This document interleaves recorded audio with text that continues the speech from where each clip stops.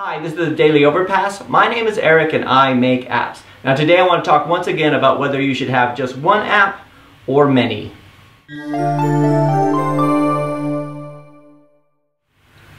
Alright, so when I came into the office this morning, I started to feel like I haven't been giving my apps enough attention, right? So I've been doing so much with client work lately that, you know, I haven't, we haven't put out any updates of our own apps for uh, at least, you know, a couple months. So it was, you know, I started to feel like I don't want to neglect that. It's like having all the spinning plates. You know, we've got our own stuff going, right? Which can, which there's so much room for improvement there, really, to be honest with you. And we're starting to get the traction. We're starting to get the downloads, but we don't have enough in-app purchases. We don't have enough things to things to sell, and our ads need to be swapped out. I mean, app AppLovin, just on, on an off tangent, app AppLovin has gone down quite a lot, right? So, you know, so so we need to do some new stuff, and I had some ideas for some new like in-app purchases and stuff like that that I really wanted to try out. And we had to make some changes for putting terms in, like a privacy policy within our apps because that's like a new thing with Google Play.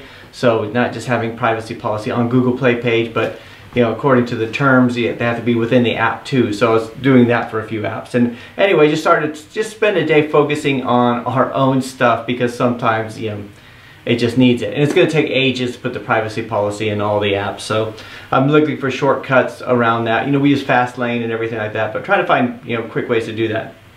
Right? And one of the things that I get asked a lot, and one of the, the issues that I, you know, that I work with sometimes, like I, I wonder whether or not we have too many applications, whether or not it's better to just focus on one big app or have you know or have many right? So uh, you know so I, I started looking around to see what other app publishers do right? And uh, you know and uh, you know and I looked and I saw this article here on uh, Sensor Tower. It is from back in April you know a few months ago.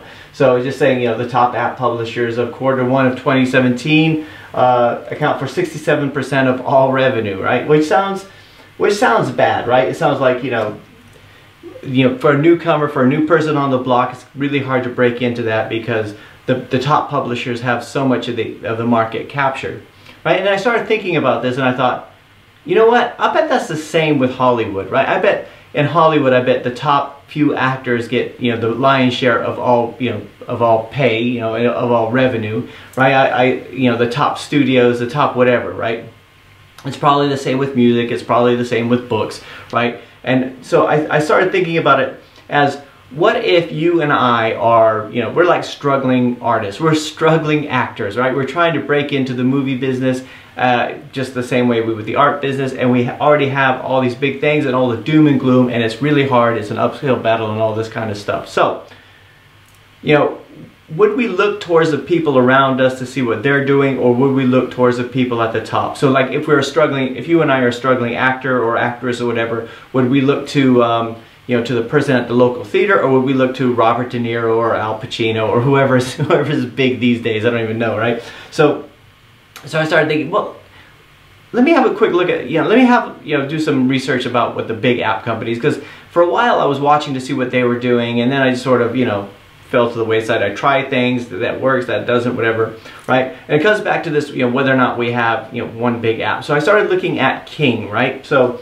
let's have a look at um, at King.com, right? If you go into this is the App Annie portal, just you know, go and look at their their published apps. And I started looking at, you know, how many apps they actually have, right? And I know it's King. They have a huge budget. They have lots of developers. They have, you know, user acquisition specialists. They have, you know enough money for television ads, let alone, you know, you know, install per click ads, whatever. So, but you know, I, I was just, I was really interested in this because look, you know, you know, each one of their games, it, it, it all works on a theme, right? They don't, you know, most of, most of them are three in a row games. Most of them seem to be uh, variations of one type or another and they put something else out because if you're excited about Candy Crush, then you're going to be excited about the next thing they put out, right? So, and they're, they're really good. Let me just uh, sort here by app name.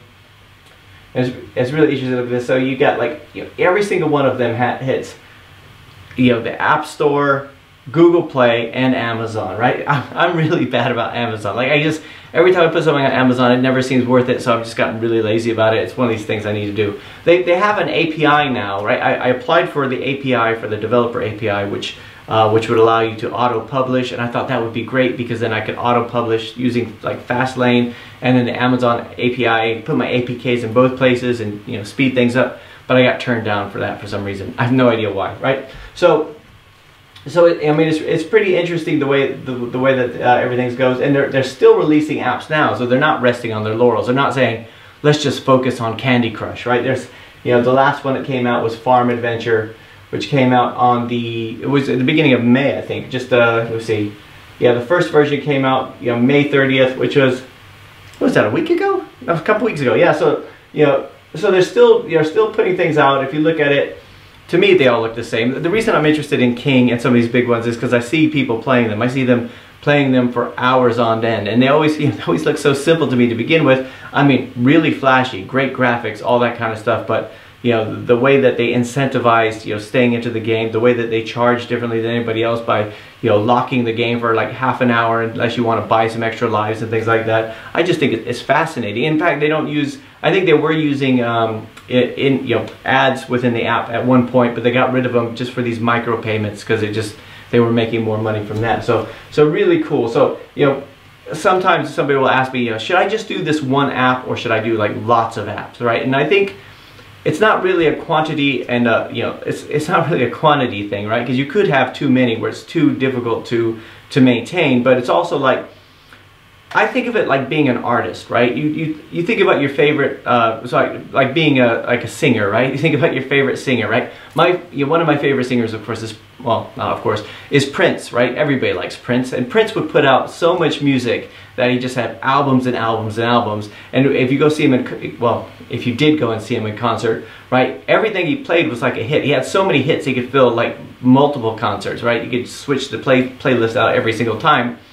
And I remember reading this story about how, you know, when they approached him to do like one song for the Batman soundtrack back in the late 80s, uh, you know, they, a week later he came back and he'd written the entire album just because he was that prolific. He was always, you know, he loved doing it, right? But you can't say that he just did, you know, rubbish. You can't say he was just out for the money. He was just, he was just, just doing that. Or you could look at somebody who like, you know, somebody else like um, Don McLean who did American Pie, right? I don't know anything else he did. I'm sure he's had another album or two maybe, but you know, we just know him for that one thing, right? So, you know, when we talk about this, you know, when people say, you know, maybe you have too many apps, I think, you know, first of all, you know, that, that's what we do. We're an app company, right? We put apps out, right? We hope that they're going to hit the mark and we hope that they're going to do well. They don't always land very well, but sometimes, you know, we, we want to try different things. And, you know, sometimes we can't try things with a big app. It's too, it's too big, it's got too much traffic. We don't want to damage what it has by introducing a new feature, so we might add it someplace else, or we might want to play around something else like leaderboards, and it's not, you know, it's not going to apply in all places. And it's just, it's just a lot, it's just a lot more fun to put out new things all the time, right? So, uh, and also if you just did the one thing all the time, like let's say let's let's go back to the actor uh, the actor thing, right? So let's say you're a, you could be a you know like a movie actor, so you take on a new role all the time, a lot of variety, but you know they don't always land all the same way. Or you could be a television actor where everybody loves you for one role and you just stay with that and you perfect that role and you get really good at it. But you'd probably get really bored at it too. So anyway, that's just my opinion. You guys, you guys probably all you know you might disagree with that. So anyway, let's look at another one over here, Supercell. This one doesn't have as many, but it still, it just seems to be on the same theme, right? They're not reskinning, but they're using the same, you know, they, hit with something and then they go with something else, right? It's really interesting to go through and look at some of these applications when they came out, you know, the, the different types of, uh, you know, the different types of histories they have, like the release history and everything like that, when they came up with the first ones, you know, how much they, they're continuing to churn stuff out, right? And you could say, you could say, well, that's them. I don't have the budget, I don't have the manpower, I don't have the time, right? And the same thing, I'm sure struggling actors could look at Robert De Niro and say, oh, that's easy for him. Everybody knows who he is. Uh, he has a publicist, he has an agent, he has a, you know, he has this whole engine behind him to push him into all these roles, but that's not how he got there in the first place. Anyway, anyway, just a little bit all over the place. Well, that, that's my thing. We should just call this a minute of all over the place or the daily all over the place, right? So anyway, that's it for today. I'll talk to you guys tomorrow.